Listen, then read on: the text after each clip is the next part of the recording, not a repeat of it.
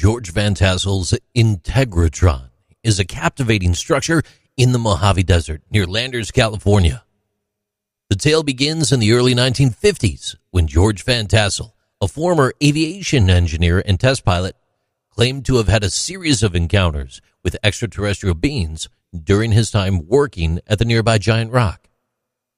According to Van Tassel, the otherworldly beings provided him with blueprints and instructions to construct the Integratron.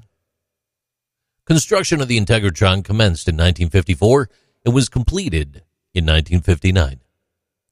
The building is actually quite the marvel of engineering, featuring a 38 foot high central dome constructed entirely without metal fasteners, relying instead on the innovative technique of wooden peg construction.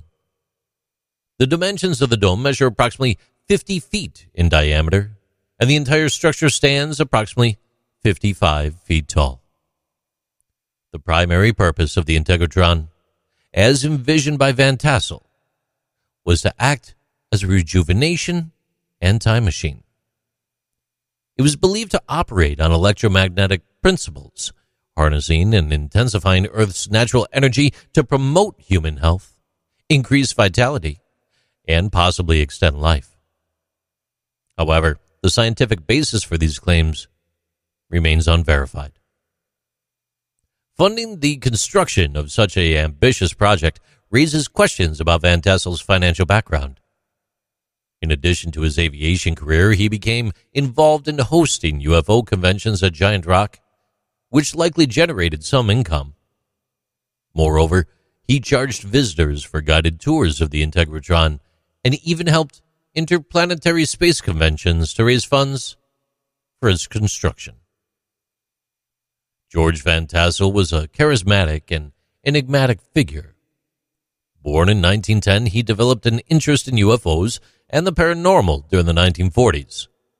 After his alleged encounters with extraterrestrial beings, he became a prominent UFOologist, gaining a following of believers who stuck by his ideas and visions. His background in aviation and engineering lent credibility to his claims in the eyes of some. Aside from his association with the Integratron, Van Tassel was also known for hosting the annual Giant Rock spacecraft conventions, attracted numerous enthusiasts and UFO researchers. These conventions became popular events during the 1950s and 1960s. While the scientific community has largely dismissed Van Tassel's claims of the Integratron's miraculous powers, the structure continues to captivate the public as an architectural wonder and symbol of the unexplained. In recent years, it has become a popular destination for sound baths, where visitors experience meditation and relaxation inside the dome while crystal singing bowls are played. Whether or not the Integratron truly possesses otherworldly powers, George Van Tassel's legacy endures through the mystique and allure of his desert creation, attracting curious visitors and spiritual seekers from all over the world.